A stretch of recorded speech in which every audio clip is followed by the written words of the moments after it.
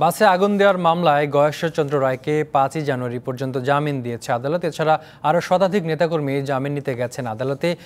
এই মুহূর্তে হাইকোর্টে আছেন সহকর্মী জাহিদ হাসান, বিস্তারিত জানব তার কাছ থেকে।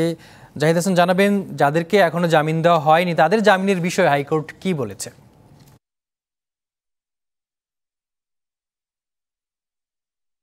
বিএনপি নেতা গয়েশ্বরচন্দ্র রায়কে গাড়ি পোড়ানোর মামলায় যে রাজধানীর সাতটি থানায় ষোলোটি মামলা হয়েছিল, সেই মামলায় বিএনপির প্রায় দেড় শতাধিক নেতা কর্মী তারা হাইকোর্টে এসেছেন জামিন নিতে।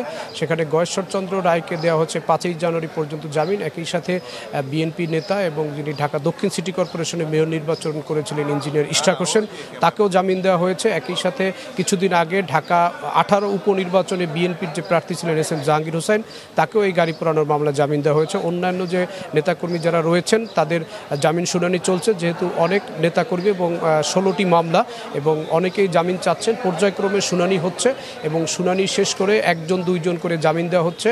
আমরা খোঁজখবর রাখছি এবং আদালতের ভেতর থেকে যখন যেই জামিনের আদেশটি আসছে, সেটি জানিয়ে দেওয়ার চেষ্টা করছি। তবে যেই বিএনপি নেতাকর্মীরা এসেছেন, তারা যেহেতু সিনিয়র নেতৃবৃন্দ, বিএনপির যারা জ্যেষ্ঠ নেতৃবৃন্দ, তারা যেহেতু জামিন পেয়েছেন, অন্যান্য যারা ছাত্রদল, যুবদলের নেতৃবৃন্দ রয়েছেন, তাদের জামিন শুনানি হবে পর্যায়ক্রমে এবং হয়তো তারাও জামিন পাবেন এবং বিএনপির অনেক নেতাকর্মী তারা কোর্টে এসেছেন, অনেকে নেতাদের সাথে এসেছেন, অনেকে মামলার সরাসরি আসামি।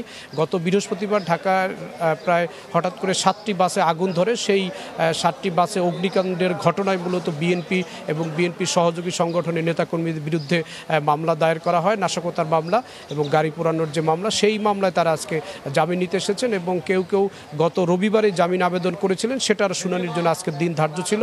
সেই সেই জামিন আবেদন শুনানি শেষে ইতিমধ্যে বেশ কয়েকজন নেতাকর্মীকে জামিন দেওয়া হয়েছে। পর্যায়ক্রমে আরও যারা রয়েছেন, তাদেরও হয়তো জামিনের আদেশ আসবে। পাঠান। জয় হাসান ধন্যবাদ আপনাকে।